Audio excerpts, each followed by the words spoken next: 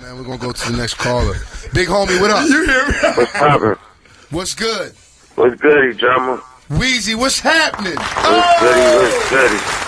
Now, now hold on, Weezy, now, cause, cause, you know what I mean? Like, let me, let me do this, cause we got a lot of people listening. You know, it's a lot of DJs listening, and I, I just wanna, I just wanna set the scenario so people understand what's going on. You know, earlier this week, um, an interview that you did leaked onto the internet from a, a magazine that you called in with some comments that were made and whatnot, and um, you know, basically, I, I, started to get a lot of phone calls myself, and everybody started to hit me up and, and, and ask what my opinion was, and, and, and, ask me what I thought about, you know, the comments that Lil Wayne made about mixtapes and, and mixtape DJs and everything. And I, you know, what I'm saying, what's happening, Weezy? What's poppin', DV? What's up, boy?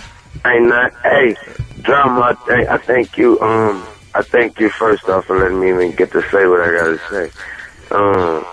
First off, man, I ain't mean disrespect no DJs, no mixtape DJs, whatever kind of DJ you was, with no kind of disrespect. Especially, um, especially given the fact that me and Drama, me and Khaled, me and my homeboy Rod Smooth, Rod Smooth from New Orleans, we all get it in and do the mixtape thing. So, given that fact right there, I didn't, I mean, things are blown out of proportion, but what I did, what I do, what I do want to say is, whoever got soft feelings or whoever took what I said, whatever way they want to take it and feel some kind of way, I want you to know, please do not feel differently after you hear me on this radio. I want you to still feel fuck me. I want you to still feel fuck that nigga. Cause when you see me in the streets, I want it to be that and I'm gonna bite your fucking face off. It's Weezy, motherfucking F.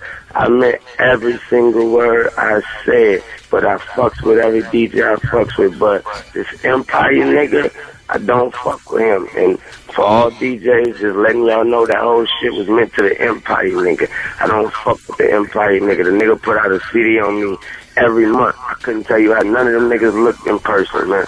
You know what I mean? So that's what I be pissed off about. Plus, I went and got a, a mixtape before or some shit called Wayne's World, Volume 7. Nigga, these niggas is on Volume 7. But first, you gotta understand when I put the disc in, these Mm-hmm. niggas is on there talking like, like these niggas on there like, yo, nigga, this our seventh time around, nigga, what's good? These niggas hating on us, we getting money, nigga, we eating, nigga, nigga, drop, drop the track, nigga, Wayne's World, nigga. I'm like, ain't this a bitch? I don't even know these niggas. These niggas Yo, Phillies, nigga, I let you boy. So honestly, that's who I really miss. So if if you made the Wayne's World Volume One through Seven, your mama's a bitch. And if um and if you the Empire nigga, I hope you die twice tomorrow. But every other DJ, I fuck with you no homo. I love y'all niggas. I wouldn't be shit without you. Tell you the truth.